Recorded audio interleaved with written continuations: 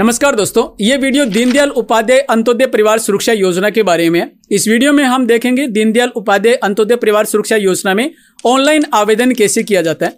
इस योजना में अगर बीपीएल परिवार में किसी सदस्य की मृत्यु हो जाती है या फिर वो अपाइज हो जाता है तो उस परिवार के सदस्यों को, उस परिवार में जो उनके नॉमिनी होते हैं, उनको एक लाख रुपए से लेकर के पाँच लाख रुपए तक की आर्थिक सहायता सरकार से दी जाती है। अगर बीपीएल परिवार में कोई सदस्य है, उसकी आयु छह वर्ष से ज़्यादा होनी चाहिए और साठ वर्ष से कम होनी चाहिए।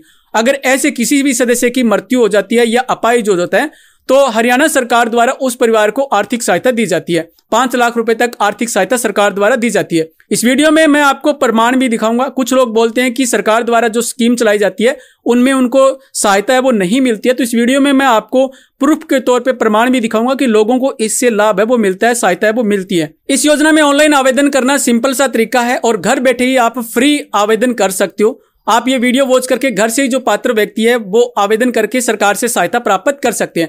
तो इस योजना में कैसे आवेदन किया जाता है, इस जानकारी के लिए चलते हैं लैपटॉप स्क्रीन पे। नया फार्म अप्लाई करने से पहले मैं आपको एक स्टेटस दिखाता हूँ। मैंने पहले एक फार्म अप्लाई किया था, वो फार्म अप्रूव हो चुका है। ये मैं आपको प्रूफ के तौर पे दिखा रहा हूँ, क्योंकि काफ़ी सारे कमेंट आते हैं। कुछ लोग कहते हैं कि इसमें लाभ नहीं मिलता इस योजना में तो उनको लाभ मिल चुका है तीन लाख रुपए का, और उसका मैं स्टेटस आपको ट्रैक करके दिखाता हूँ। तो स्टेटस ट्रैक करने के लिए आपको सिंपली ऊपर ट्रैक रिक्वेस्ट का ऑप्शन मिलेगा। यहाँ पे आपको क्लिक कर देना है। इसके बाद आपके सामने इस तरह का पेज खुलेगा और यहाँ पे आपको अपनी फैमिली आईडी डालनी है। जिस आईडी पे आपने अप्लाई किया, वो फैमिली आईडी आपको यहाँ पे फिलअप करनी है और सबमिट पे क्लिक कर देना है। सबमिट हो जाने के बाद आपके सामने डिटेल ओपन हो जाएगी। जैसे यहाँ पे आपको टिकट नंबर दिखाई देगा। इसके सामने ये टिकट नंबर है। ये फॉर्म मैंने उनतीस नौ दो को अप्लाई किया था। स्कीम अप्लाइड और उसके बाद ये अप्रूव हो चुका है फॉर्म दो फरवरी 2024 को।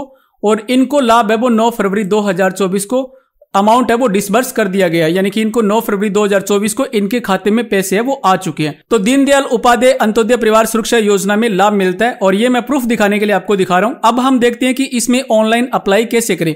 आप घर बैठे ही ऑनलाइन अप्लाई कर सकते हो, बिल्कुल फ्री फॉर्म अप्लाई करने के लिए आपको ऑफिशियल साइट विज़िट करना है। साइट का लिंक है वो वीडियो के डिस्क्रिप्शन में मिलेगा। लिंक पर क्लिक करके आप इस साइट पर विज़िट कर सकते हो। इस तरह की साइट आपके सामने खुलेगी, ये डैशबोर्ड है। यहाँ पे आपको ऊपर ऑप्शन मिलेगा अप्लाई स्कीम का। यहाँ पे अप्लाई स्कीम पे आपको क्लिक कर देना है। इसके बाद आपको यहाँ पे क्लिक कर देना है दयालु। यहाँ पे आपको क्लिक कर देना है और यहाँ पे आपको अपनी फैमिली आईडी डालनी है। एप्लीकेंट की फैमिली आईडी इस कॉलम में फिलअप करना है और गेट ओटीपी पे आपको क्लिक कर देना है। इसके बाद आपके रजिस्टर्ड मोबाइल नंबर पे एक ओटीपी मैसेज आएगा। जो फैमिली आईडी में रजिस्टर्ड मोबाइल नंबर है, उस पर ओटीपी मैसेज आएगा। ओटीपी नंबर आपको इस कॉलम में फिलअप कर देना है। ओटीपी फिलअप करने के बाद सबमिट ओटीपी पे क्लिक कर देना है। इसके बाद फैमिली आईडी से डाटा ऑटो फेच हो जाएगा यहाँ पे। यहाँ पे आपको फैमिली नंबर दिखाई देगा। जो फैमिली आईडी का नंबर है वो दिखाई देगा। यहाँ पे परिवार का मुखिया का नाम दिखाई देगा।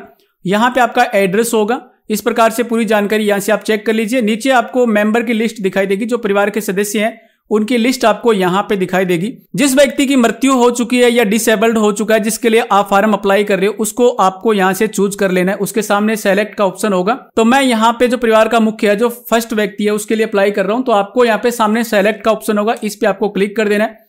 इसके बाद वो व्यक्ति डेड हो चुका है या डिसेबल्ड है तो आपको चूज़ कर लेना डेड है तो यहाँ पे आपको क्लिक कर देना है। इसके बाद आपके सामने इस तरह का पेज खुलेगा। यहाँ पे उसका नाम होगा, जिसके लिए आप अप्लाई कर रहे हो। यहाँ पे उसका फादर नेम होगा। यहाँ पे जेंडर होगा और यहाँ पे डेट ऑफ़ बर्थ होगी। ये डिटेल आपको एक बार चेक कर लेना। ये डिटेल है, वो फैमिली आईडी से ऑटो फेच होती है। यहाँ पे आप किस योजना के लिए अप्लाई कर रहे हो तो उसका यहाँ पे पूरी जानकारी होगी। इसके बाद यहाँ पे आपको डेट ऑफ़ डेथ डालना है, यानी कि मृत्यु किस तारीख को हुई थी, वो आपको तारीख यहाँ पे मेंशन करना है। ये डाटा डेथ सर्टिफिकेट में होता है। डेथ सर्टिफिकेट के अकॉर्डिंग यहाँ पे डाटा आपको डालना है। जो उस व्यक्ति का डेथ सर्टिफिकेट है, उसका नंबर आपको यहाँ पे फिलअप कर देना है। और यहाँ पे आपको दिखाई दे रहा है क्या हरियाणा में सर्टिफिकेट जारी किया गया यानी कि जो डेथ सर्टिफिकेट जारी किया गया वो हरियाणा में जारी किया गया है तो आपको यस पे क्लिक कर देना है। और हरियाणा में नहीं किया गया तो आपको नो पे क्लिक करके आगे की डिटेल है, वो फिलअप करनी है।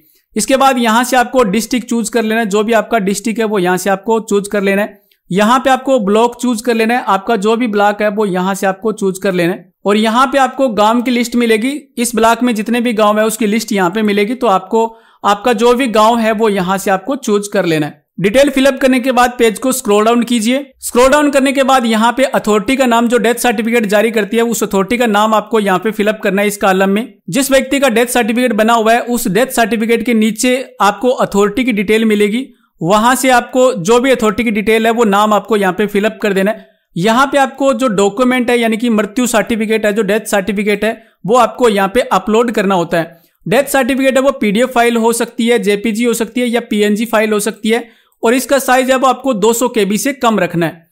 ये सारी डिटेल आपको फिलअप कर देनी है डॉक्यूमेंट आपको अपलोड कर देना है और एक बार फिर से आपको जानकारी रीचेक कर लेना है इसके बाद आपको यहाँ पे नीचे डिक्लेरेशन है, ये डिक्लेरेशन आपको ध्यान से रीड कर लेना है और चेक बॉक्स पे आपको टिक कर देना है और अप्लाई स्कीम पे क्लिक कर देना है। स्कीम अप्लाई करने के बाद ये फाइनल स्टेप है और स्कीम आपकी अप्लाई हो चुकी है। सिंपल सा फॉर्म है, इसमें आप घर बैठे ही आवेदन कर सकते हो। यहाँ पे आपको ऊपर टोकन नंबर मिलेगा, इसको आप नोट कर लीजिए। Your request has been taken your request number यहाँ पे आपको टोकन नंबर दिखाई देगा। ये टोकन नंबर आपको नोट कर लेना है। आगे भविष्य में अपना फार्म ट्रैक करने के लिए, उसका स्टेटस चेक करने के लिए ये आपको काम आएगा।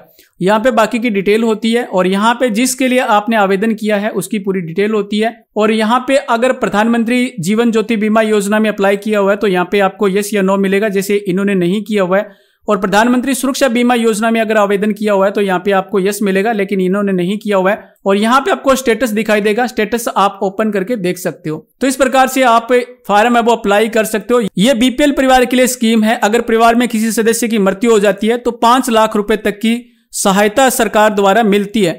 और इसमें सहायता मिलती है, जैसे मैंने आपको पहले दिखाया था, ये फार्म अप्रूव हो जाता है और सहायता भी मिलती है। तो जो एलिजिबल कैंडिडेट है, वो इसमें आवेदन करके सहायता प्राप्त कर सकते हैं।